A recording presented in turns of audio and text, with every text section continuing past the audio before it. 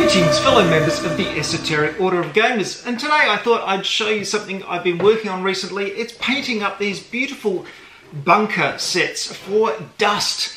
Do you remember Dust? It's still around and it's been going for a long time. It's a tabletop miniatures game set in a kind of weird war, as in an alternative World War II uh, kind of universe, and it's got sort of walkers and World War II tanks and things like that.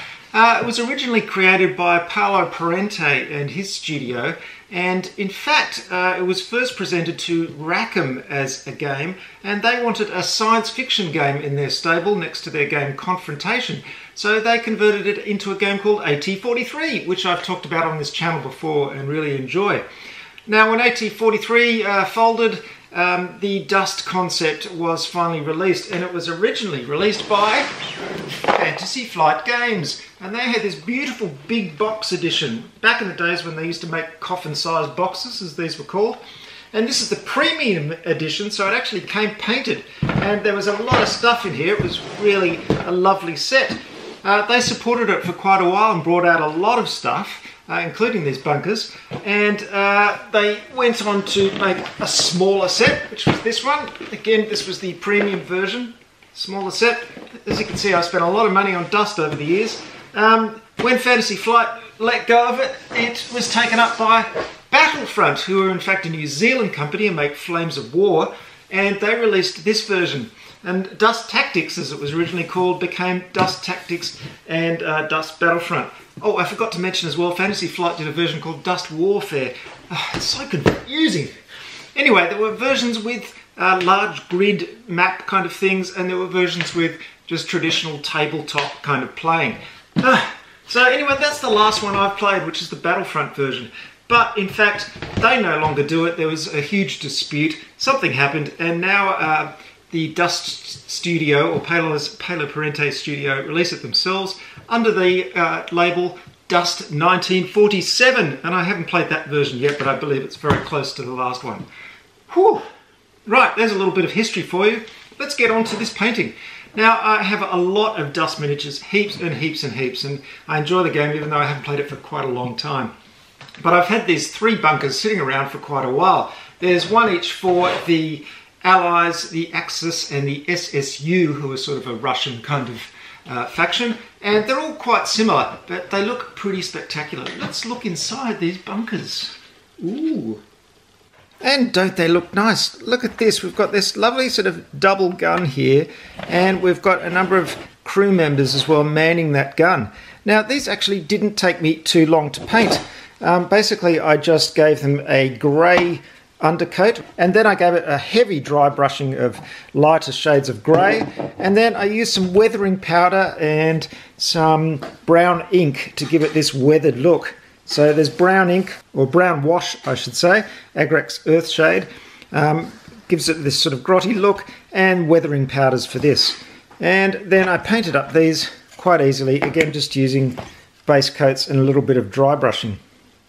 And as you can see, they're very effective guns. Aren't they nice? Look at that. Now we have uh, a bunch of guys manning this, this station, and I've given them a pretty rough paint job. The thing about my dust figures is that because some of them came pre-painted originally, um, they didn't have really detailed paint jobs, and I've really just kept them in that style because they're for playing, not uh, fancy display or anything like that. So we have a bunch of guys there and they have this gun and you'll find also that each one of these bunker sets came with another gun. So this is the Axis one. We've got a single gun for the Axis as well. So if I want to, I can take out this double gun and just put a single one in there. If I can find the hole, there it is. And then you've got a single one. And if you want to, on the tabletop, you can close that up. And when it's used for the first time, you can go, ha ha! or when the bunker is attacked, and you can see all the lovely insides. Now, over here we've got the SSU one, which is our sort of Russian style, and this is uh, pretty much a sort of greeny kind of style. And they're using uh, Tesla guns, which are these lovely guns here, as you can see.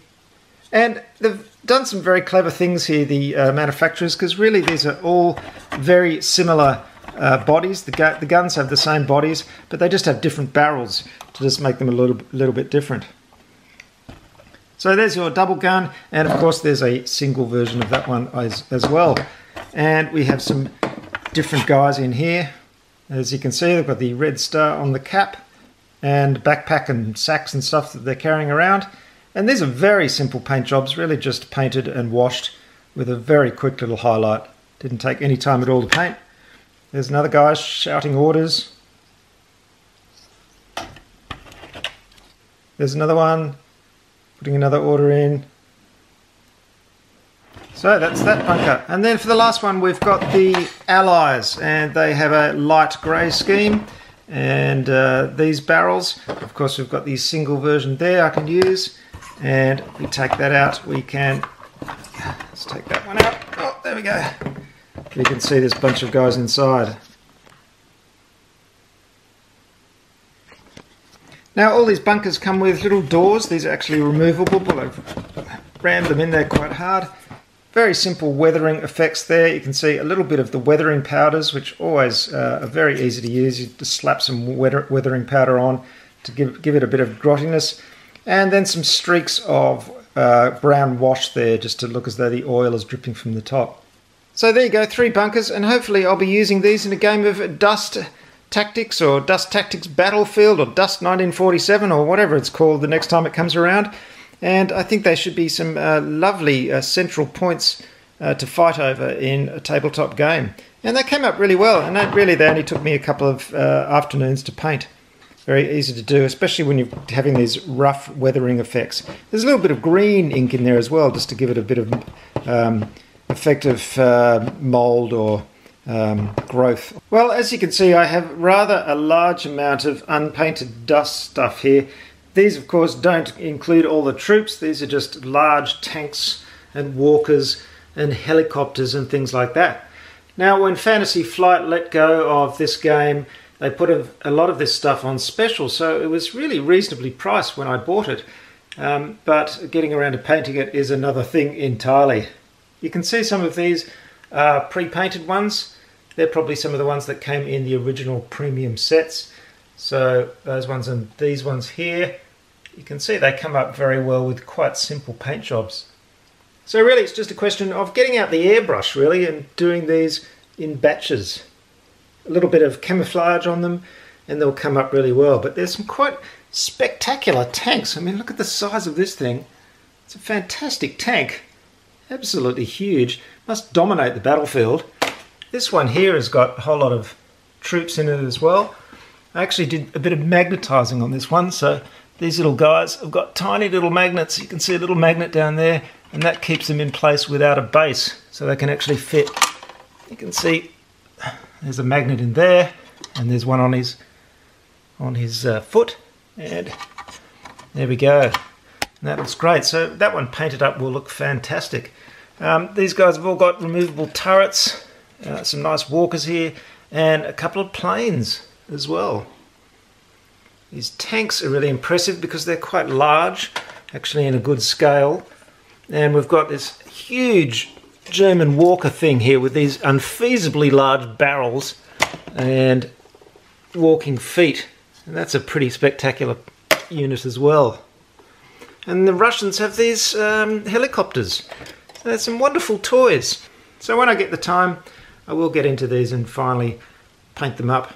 So if you're interested, uh, Dust 1947 is available, though I think the figures are only available direct from uh, the Dust studio, which you can find online. And uh, unfortunately, because of the game has gone through so many rules iterations, it does seem to be floating a little bit in limbo, which is a bit of a shame because as you can see, the figures are quite lovely. Here we have all the infantry figures I have for the game. And we've got the allies all down this strip here on the left. Most of these are painted. Some of them came pre-painted, other ones I've quickly painted myself. We've got the Axis over here. They also have some large guns here with multiple teams. And they have some zombies. And of course, apes What army isn't is complete without some giant apes? And here are the Russians, which are very much mostly unpainted, sadly. Lots of work to do there. Wow, lots of figures there. Um, I've inspired myself. I've really got to play some um, games of Dust very soon. Well, there you have it, folks. A quick reminder about the game Dust. Dust Tactics, Dust Warfare, Dust Battlefield, Dust 1947, whatever you want to call it. It's Weird War tabletop miniatures gaming.